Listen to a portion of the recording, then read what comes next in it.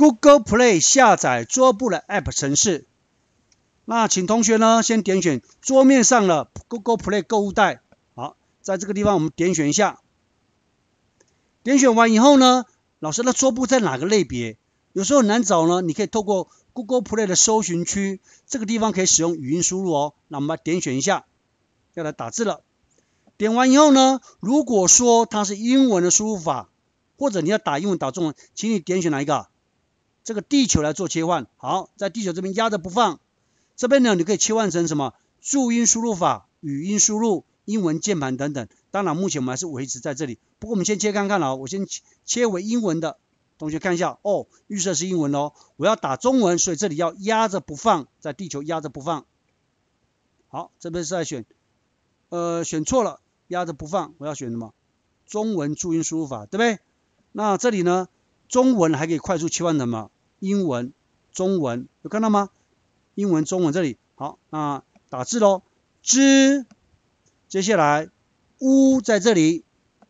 第三个 o，桌，要不要再输入不呢？不用，这时候再点哪一个？哎，桌桌先把它点一下桌。那他问你要桌面主题桌布还是什么什么的？好，我们要桌面主题，这边点选一下。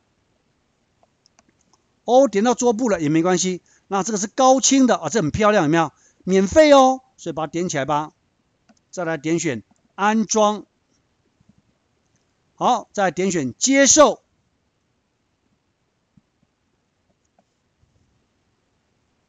那这个容量是在这里，透过这个呢，你就可以呃把你的手机、平板改变，让它有不同的背景。当然你。那我们自己拍的照片也可以啊，就是在设定的显示里面去改。你的手机平板要先开照片哦。好，现在在安装中，我们就等它一下。哎，装完了就把它开起来吧。开起来以后呢，我们就等它一下下。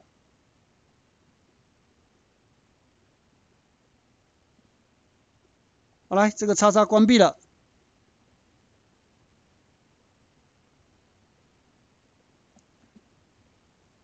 啊，就可以看到很多了，对不对？这图都很漂亮。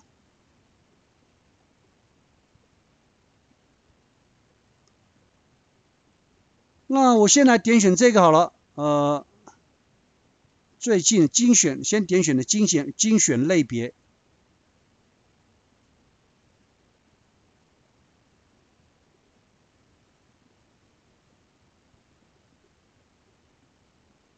来，我来点选这个。点一下，对不对？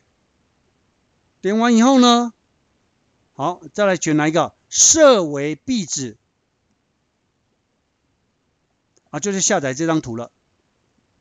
下载完以后呢，来，我们来点选这个桌布，选择服务啊，哦，这个壁纸，把它点一下左边这个。他问你呢，要滚动式的标准，对不对？那这边呢，我就点选全部吧。好，那固定的地方，好，我也点选哪一个？呃，这个全部。好，如果都确定好了以后，再点选右上角哪一个？打勾表示说确定了，那就他帮你处理了。好，做好已经做完了，这是我们再点选这个圆圆的，回到主画面来。那我们的背景就改掉了啊，就改掉了。那这请同学练习看看吧。